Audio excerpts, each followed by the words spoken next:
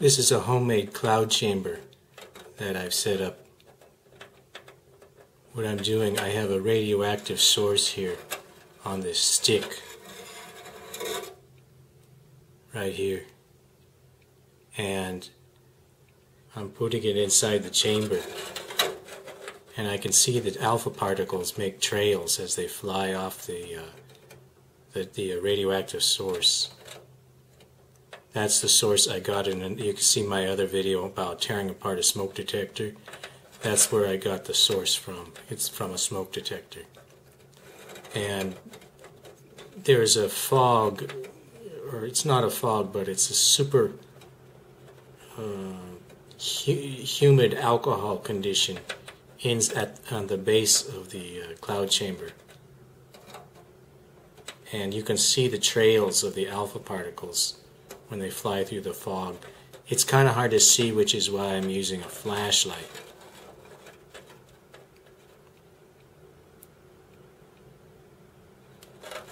They're not consistent too. One minute you'll see them and then you won't see them for a few seconds and then you'll see a whole bunch. I'll show you how I made this cloud chamber here in a moment there. I just saw a few alpha particles zoom off. I'll turn it in another direction now.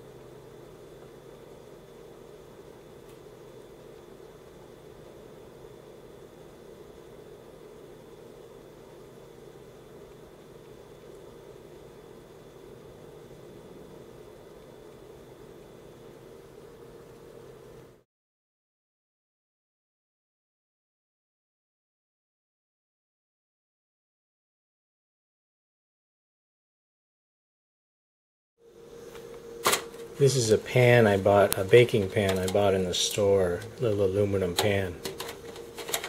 Right here's another one I haven't used yet.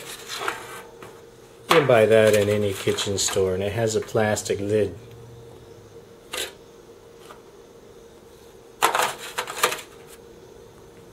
So we've been looking through the plastic lid inside into the pan and you see the bottom's black. I spray painted the bottom with black paint. It makes it easier to see the, the trails that the alpha particles will leave in the uh, alcohol vapor. And either side you see here and here, I cut a sponge, a kitchen sponge in half and soaked it with alcohol, 91% uh, isopropyl alcohol. And uh, I'm cooling the whole thing. If you look down here, that's a big five pound block of dry ice that the whole thing is sitting on right here. That makes the bottom of the pan really cool. And the sponges are soaked in warm alcohol. I, I warmed the alcohol up a little bit.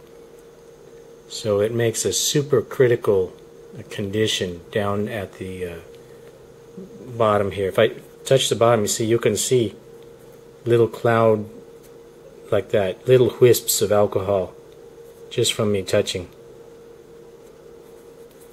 It's, it's ready to form a cloud, but not quite. It's supercritical.